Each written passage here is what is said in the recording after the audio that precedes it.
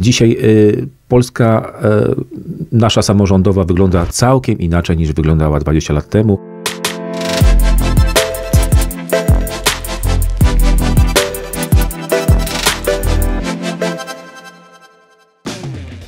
Paweł Amulewicz w naszym studiu, Jarosław Matłach, starosta szczycieński. Dzień dobry. Dzień dobry, witam serdecznie. E, Panie starosto, e, przyczynkiem trochę e, po dziennikarsku mówiąc wytrychem do naszej rozmowy jest fakt, że świętujemy dwudziestolecie obecności Polski w Unii Europejskiej. Rok 2024 to jest rok jubileuszu. Proszę powiedzieć z perspektywy włodarza dużej części regionu, no możemy powiedzieć o tym, że był to moment przełomowy. Trochę rozumie się to samo przez się, ale głos samorządowca jaki będzie w tej sprawie? No zdecydowanie tak. Wejście do Unii Europejskiej dla nas, y, dla Warmii Mazur, ale także dla powiatu szczecińskiego y, było czymś wielkim. Po pierwsze, bo otworzyły się granice e, całej Europy dla nas, y, dla młodych ludzi, którzy mogli wyjechać, ale mogli wyjechać i wrócić. Natomiast jeżeli chodzi o dla samorządu, y, to tutaj otworzyły się wielkie środki, które pomogły e, naszym małym miejscowościom pokazać e, to, co najlepsze.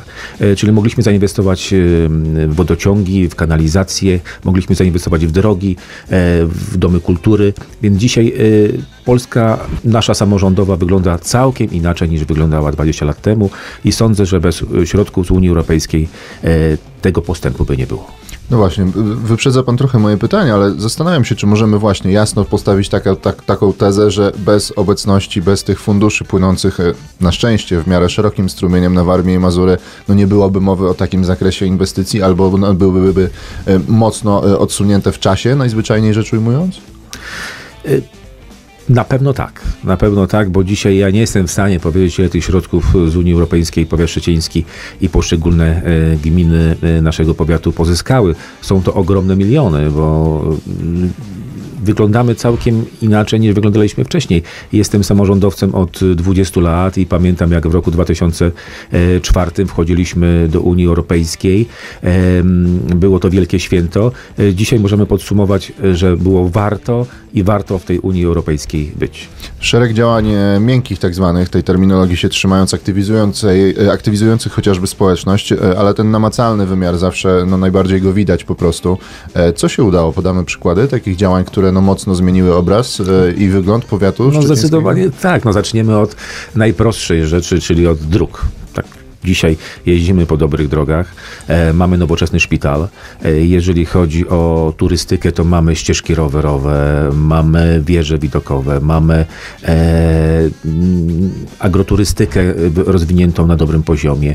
Mamy hotele, które skorzystały z Unii Europejskiej, czyli już jesteśmy atrakcyjni dla, dla reszty kraju. Dzisiaj społeczeństwo, które mm, mieszka w Polsce, e, lubi e, przebywać na Warmii i Mazurach i jest to e, też część tego, co dała nam Unia Europejska, bo musimy wiedzieć ek- ekomariny na, w naszych rejonach, więc no, ekologia, e, którą zainwestowaliśmy, kanały, więc naprawdę dużo, dużo się zrobiło. takim umownym garncem złota, z którego samorządy też czerpią e, dużymi garściami. W ostatnich latach są e, wszelkiego rodzaju fundusze i środki rządowe. Wy także jesteście ich beneficjentami. Co się udało dzięki tym pieniądzom z kolei u was w powiecie zrealizować? Tutaj, jeżeli chodzi o środki rządowe, to duże środki rządowe były przeznaczone na służbę zdrowia, a także na pomoc społeczną. Dzisiaj wiemy, że e, pomoc społeczna dla tych e, najbardziej potrzebujących, e, bo dla tych, którzy są najbiedniejsi, którzy potrzebują pomocy, to te środki przyszły. Mamy dobre domy pomocy społecznej, mamy dobry sprzęt w szpitalu. Przez okres COVID-u byliśmy byliśmy szpitalem tymczasowym, więc też bardzo skorzystaliśmy e, z tych środków, bo dzisiaj mamy nowoczesne rentgeny, nowoczesne tomografy, e, nowoczesne respiratory, mamy zakład opiekuńczo-leczniczy na bazie, e, na bazie byłego covidowego szpitala, więc tu udało się skorzystać bardzo dużo. Rok e, 2024, płynnie w niego bardzo weszliśmy, bo czas biegnie niestety szybko.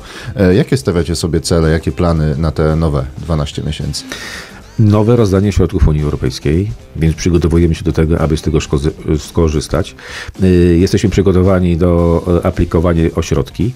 E, Postawimy też na infrastrukturę, ale też na e, środki y, z Efezu, tak? czyli na środki, aby jak najbardziej e, tego młodego człowieka uzbrajać w umiejętności miękkie.